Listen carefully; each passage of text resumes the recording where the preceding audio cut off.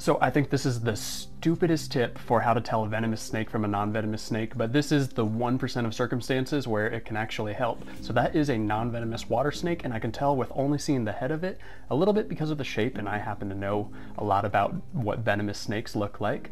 But even to the untrained eye, it is possible to tell that this is a non-venomous water snake because the pupils are round. The reason why I hate this tip though, is there are other venomous species, especially if you live outside of the US, that also have round pupils like cobras and mambas. Sorry, I'm getting over the end of a cold, so I'm kind of out of breath. Like and subscribe for daily videos.